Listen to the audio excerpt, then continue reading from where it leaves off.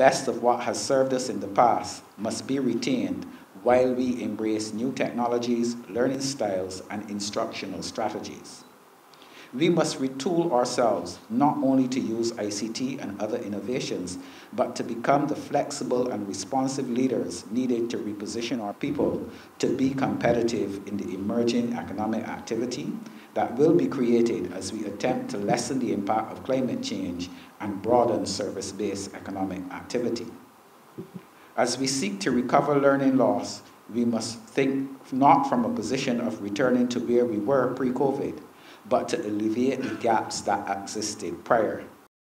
As we look towards building a resilient education system or resilient education systems, I challenge you to continue in this vein of open and honest dialogue. Forge linkages with your Caribbean counterparts and stand strong in the power of collective wisdom. I wish all of you success as we all chart this path together.